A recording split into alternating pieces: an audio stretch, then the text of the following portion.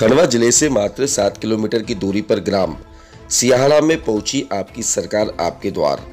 योजना के माध्यम से समाधान शिविर लगाए गए, जहाँ पर सभी शिकायतकर्ताओं की समस्या सुनकर, समस्याओं का समाधान व निराकरण के लिए खंडवा जिला कलेक्टर श्रीमती तन्वी सुंदरियाल के आदेश अनुसार आम सभा की समस्या को लेकर राहत पहुँचाने के कार्य किए गए। देखिए, पूरी खबर आईबीएन 24 न्यूज़ पर फरीद मंसूरी के साथ।